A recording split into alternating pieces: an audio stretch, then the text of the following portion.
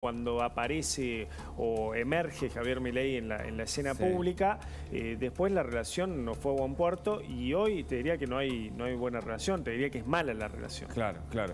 Bueno, eh, hablemos de la decisión de la, carta de Alberto, Javier, por eh, favor. Bueno, porque lo decíamos al inicio del programa, hubo, a ver, a, primero de enero, primer día del año, y el presidente Alberto Fernández escribió una, carta, una carta saludando a todos los argentinos. Y Larga publicación, ¿no? Sí, dos carillas de Alberto Fernández. El problema, y aquí te lo quiero compartir, Fíjate que en el medio de la carta, sobre el final, te marco este párrafo, Hugo, porque Alberto Fernández dice lo siguiente, que convocó a los señores gobernadores que acompañaron al Estado eh, Nacional en su planteo contra la ciudad de Buenos Aires, en conjunto, y acá fíjate lo que dice Alberto, para impulsar el juicio político al presidente de la Corte Suprema, estamos hablando de Horacio Rosati, para que se investigue su conducta en el desempeño de sus funciones. También requeriremos, dice el presidente, que se investiguen las conductas de los restantes miembros del máximo tribunal. Termina esta carta,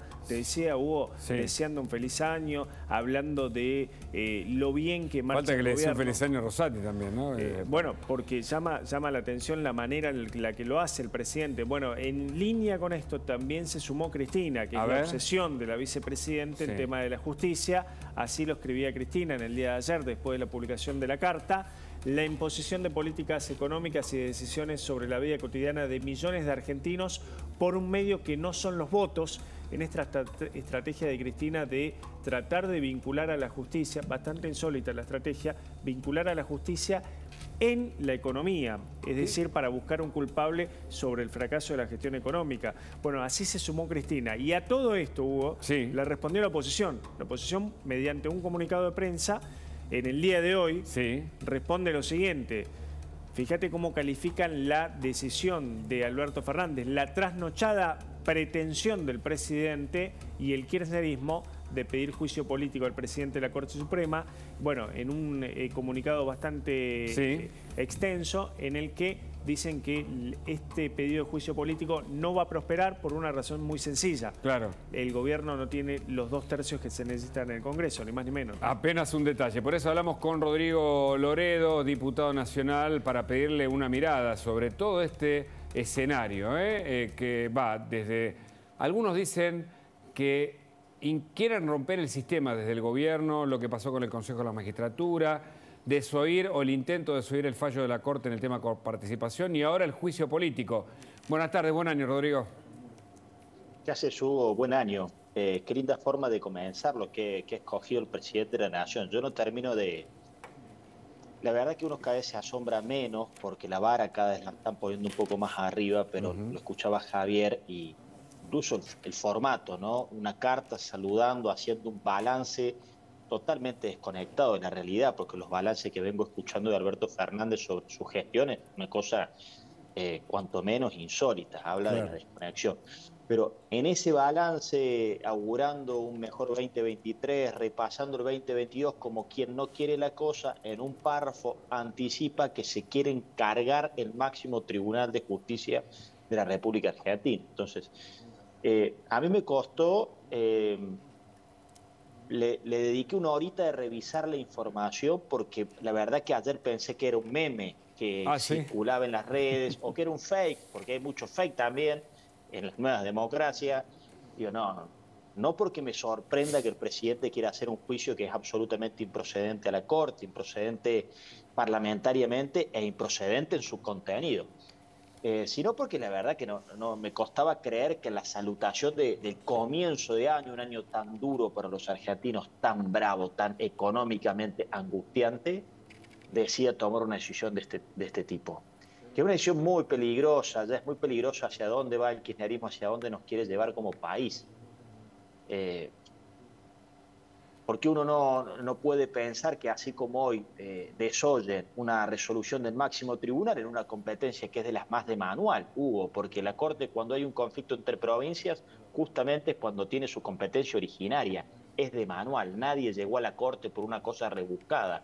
Hay un conflicto entre estados subnacionales, la ciudad autónoma de Buenos Aires es uno de ellos y la nación, tiene que intervenir la Corte. Si desoyen eso porque uno no puede pensar que mañana desoyen un resultado electoral, que también lo resuelve una Cámara ah, electoral, que depende del Poder Judicial.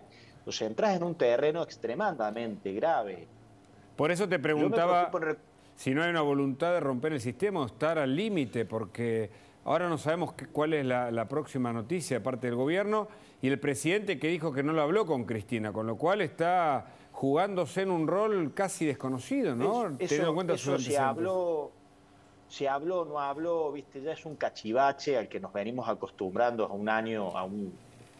Yo creo que la gente le, da más eh, bola al culebrón entre Tini, Paul y Camila Horn que las peleas entre Cristina y Alberto, que si le dijo o no le dijo, es claramente evidente que las decisiones las toma Cristina y Alberto va atrás haciendo seguidismo. Pero en el fondo hay un planteo conceptual que lo, pone Cristina en su Twitter y ellos lo esgrimen hace mucho tiempo, que tiene que ver con que ellos quisieran o no terminan de comprender o de aceptar nuestro diseño institucional.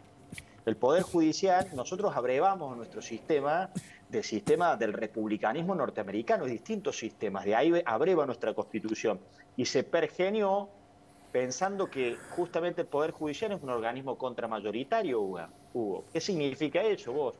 Al Parlamento lo elige la mayoría del voto de la gente, al Ejecutivo también. Y tener un órgano contramayoritario se hace como una, una suerte de equilibrio de poderes para ser una garantía de las mayorías y de las minorías. El estar acusando permanentemente al Poder Judicial que no ha sido elegido directamente por el voto de la gente es desafiar el andamiaje republicano que diseña el equilibrio de los poderes en la Argentina.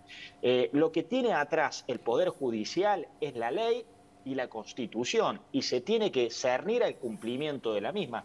Fíjate, yo quiero proyectar la gravedad de esto, Hugo, porque hasta el momento está en, el espacio de lo político, que es gravísimo, este desafío a la Corte. Fíjate vos si vos lo proyectas, el Poder Judicial no tiene fuerza coactiva. Si al final del día vos te negás el cumplimiento de una decisión judicial, vienen las fuerzas de seguridad que dependen del Poder Ejecutivo. ¿Qué nos vamos a encontrar? Que vamos a llegar a una instancia en la cual el Poder Judicial ordenará que se haga o se deje de hacer una cosa y las fuerzas de seguridad que tengan la obligación de hacer el uso de la fuerza para que eso se concreto. claro. Ahora, la idea de Cristina de desconocer cómo funciona el sistema republicano, ¿a qué obedece? Eh, se, exacerbó luego de la condena en su contra? Eh, porque ella bien sabe que no todo es elegido a través de los votos. Eh, hay elección directa, indirecta, hay un sistema republicano que le pone límites al Poder Ejecutivo justamente desde el Poder Legislativo y del Poder Judicial, ¿no? Sí, no hay dudas que atrás de todo esto hay una agenda de impunidad, que es la principal preocupación que ha tenido el gobierno desde el primer minuto, del primer momento, eh, y que tiene que ver con el avance de las causas contra eh, Cristina Fernández de Kirchner y cómo se han avanzado con otros eh, altos funcionarios de los gobiernos kirchneristas y no ha habido una sola defensa vinculada a las pruebas, vinculada, y han gozado de todos, absolutamente todos los derechos de defensa, tienen las instancias procesales, es toda una narrativa que es propia de los populismos, tampoco están inventando nada, este deterioro institucional ya pasó en otros países y arrancó con, si vos proyectás, con discusiones idénticas a las que estamos teniendo, por eso la gravedad. Venezuela no llegó a ser la Venezuela que hoy conocemos porque alguien se propuso ir ahí, sino que fue una degradación y fue una consecuencia. Yo siempre digo, los populismos como fracasan en sus políticas públicas, fundamentalmente sus políticas económicas, de déficit crónicos, con aumentos impositivos, inflación o endeudamiento, eh, después tienen que justificar el fracaso de sus políticas buscando culpables. Y ahí viene el proceso de degradación institucional que está viviendo el país. Fíjate, Rodrigo, que cuando tomás fotos aisladas es una cosa. Cuando vos las juntás, ves una película compleja. Y estoy pensando, ¿te acordás en la suspensión de las pasos?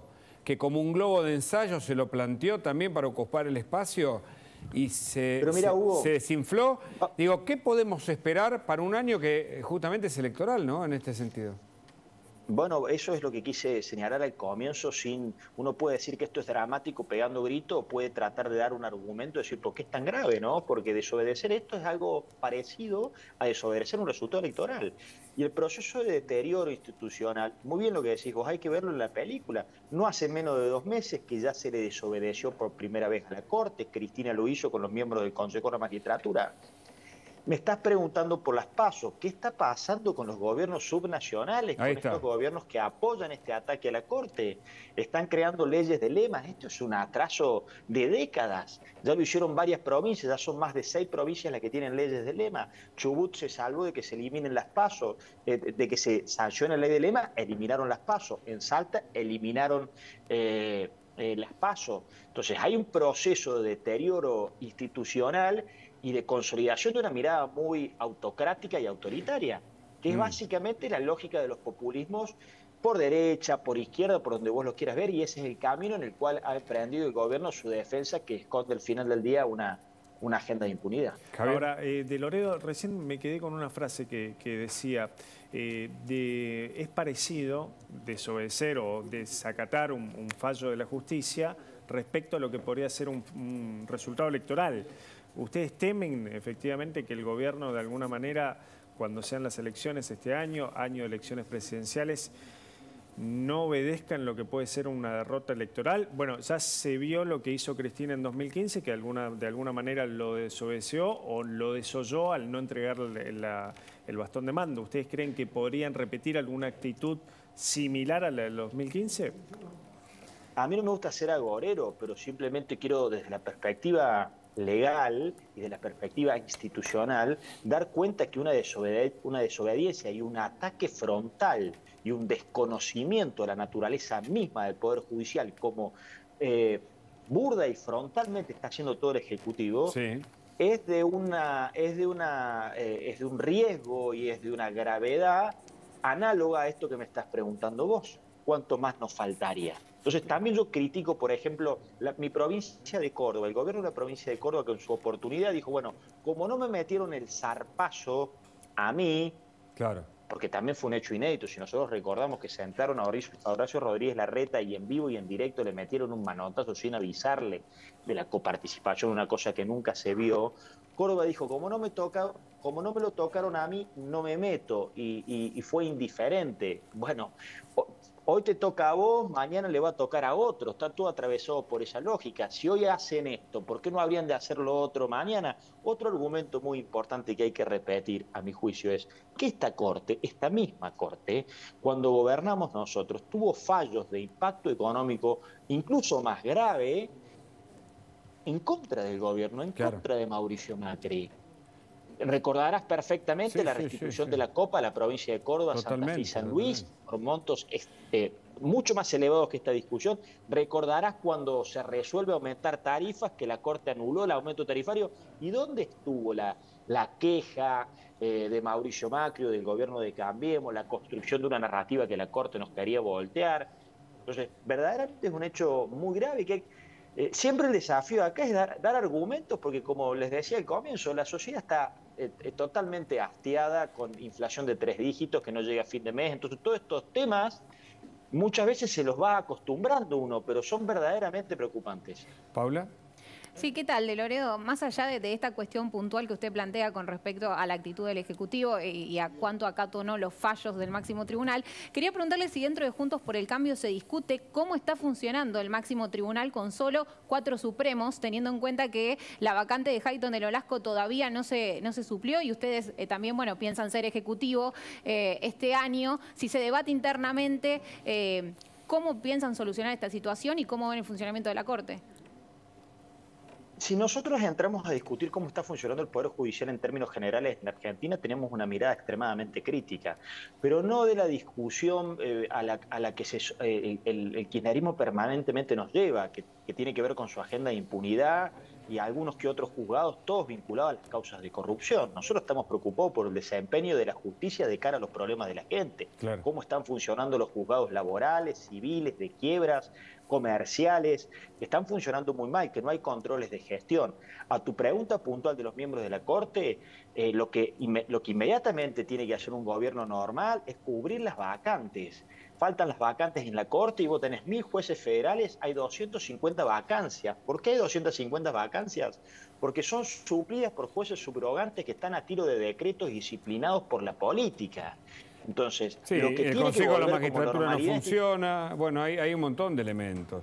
Eh, quieren... Lo que tiene que venir como normalidad es ocupar las vacantes por un Consejo de la Magistratura eh, que tenga equilibrio entre lo técnico y lo político y que esos jueces después tengan la estabilidad que la, Constitución les asigna.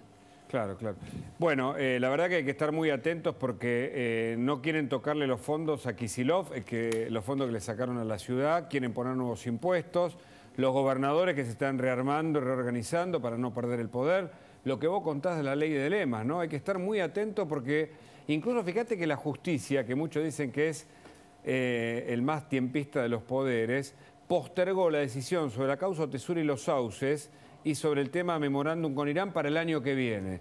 Porque toda decisión judicial también tiene un impacto político que creo que ahora mismo estamos viendo sobre el fallo en contra contra Cristina Fernández en la causa de habilidad.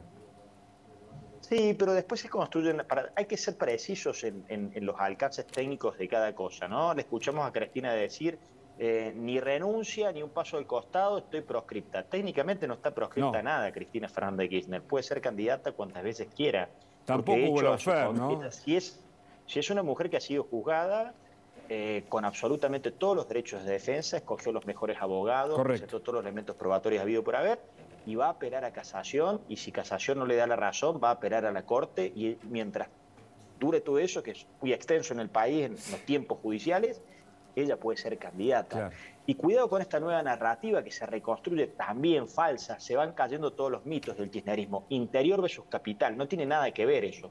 Te lo digo desde Córdoba, que tenemos una mirada muy crítica a una Argentina porteñocentrista, aún Juntos por el Cambio, hemos sido críticos cuando Juntos por el Cambio miró el país desde la rendija de la Ciudad de Buenos Aires, pero esto es la misma lógica maniquea de generar conflictos. Vos sos pobre porque la, provincia de La Rioja es pobre, no porque tuvo gobernantes que se chorearon la guita, que administraron mal, que son provincias ricas, que las convirtieron en pobres, sino que es pobre porque la ciudad de Buenos Aires es rica. Entonces, la pobreza de la Argentina existe porque hay personas que tienen, eh, que les va bien económicamente. Y así se van construyendo antinomias permanentemente que no nos permiten construir una opción de desarrollo que nos haga crecer y todos igualar para abajo. Correcto, correcto. Rodrigo, muchas gracias. ¿eh? Interesante siempre. Gracias,